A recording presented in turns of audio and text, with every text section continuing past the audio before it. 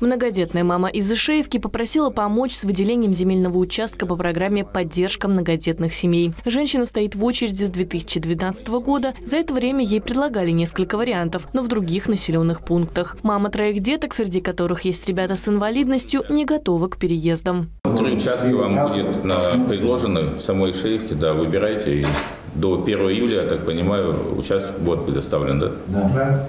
Жители Новоспасского района обратились к главе региона с просьбой открыть в местной больнице отделение неотложной кардиологии. В Министерстве здравоохранения отметили, в муниципалитете откроют региональный сосудистый центр, который будет обслуживать жителей Южного Куста. Установят также современный ангиограф. Этот аппарат используют для диагностики и лечения заболеваний сердечно-сосудистой системы. С помощью установки можно выявлять патологии кровеносной системы и повреждения сосудов. Завершающий стадии находится подготовка помещений.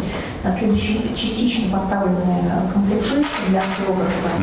И на следующей неделе будет его монтаж с последующим э, получением разрешения на ввод его в эксплуатацию. Я думаю, что марте-апреле мы его должны запустить. Преподаватели Димитровградского технического колледжа вышли с предложением увековечить память выпускников, погибших в ходе специальной военной операции. Мемориальная доска на фасаде здания колледжа должна появиться ко Дню Победы. Взяли буквально три месяца для того, чтобы процедурно отработать эти мероприятия. Ну, первое – это э, заседание педсовета. Я не думаю, что там будут какие-то возражения. Далее согласование э, с родителями. Да, согласование с родителями.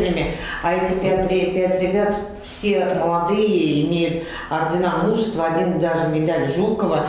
И э, далее изготовление. Также губернатор принял решение по выделению адресной помощи жительнице Димитровграда. Для ее дочери с ограниченными возможностями необходима закупка дорогостоящего подъемника. В связи с особенностью заболевания она постоянно находится в вынужденном лежачем положении. Адресная помощь будет оказана до конца января. Анна Тищенко, Улправда ТВ.